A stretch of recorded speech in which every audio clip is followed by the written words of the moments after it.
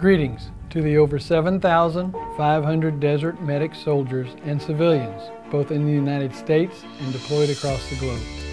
For those who I haven't had the privilege of meeting, I am Major General Joe Robinson, Commanding General of the 3rd Medical Command Deployment Support. I would like to take a moment to discuss the mission of the 3rd Medical Command, my vision, and the way forward.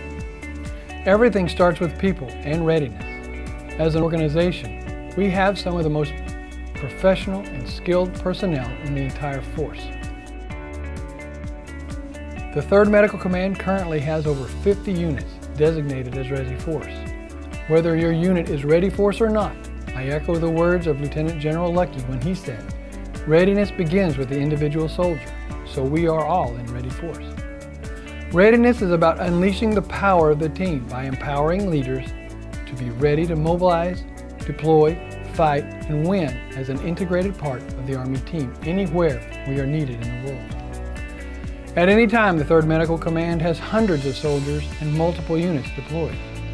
We have the capability to get soldiers out the door to deploy and make a truly amazing, life-saving procedure look routine. We need to do the same with personal readiness by making our focused deployment readiness a routine. We all know that readiness is an individual responsibility, and I expect first line leaders and commanders at every level to make that happen.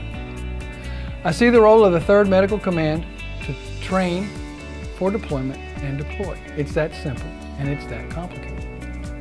A significant mission for the 3rd Medical Command is our partnership with the United States Army Central Command, or ARCENT.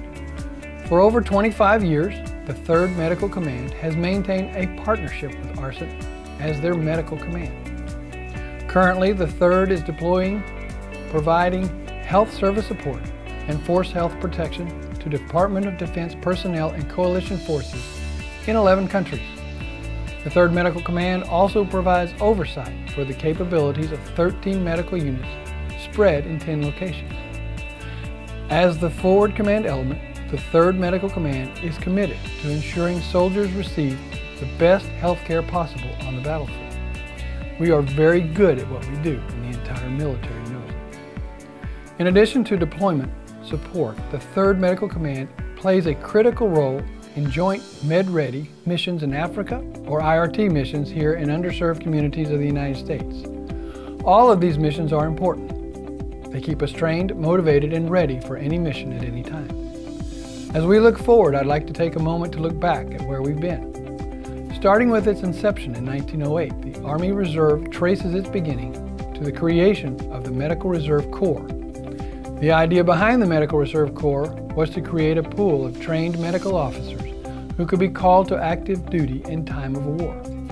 Much has changed since then, but our commitment to provide trained medical professionals has remained as critical as ever.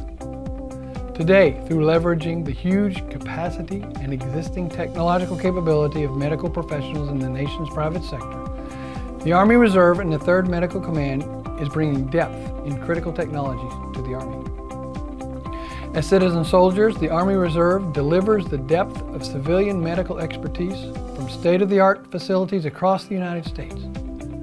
Our medical professionals are the best in their fields. As a result, there's no one better to promote Army Reserve medicine than ourselves. And we are the best recruiters. Yes, the Army dedicates resources to recruiting, but because this is such a critical need, I challenge each of you, no matter if you're a civilian EMT, nurse, dentist, veterinarian, or physician, to promote Army Reserve medicine. There's a saying, specialists recruit specialists and officers recruit officers.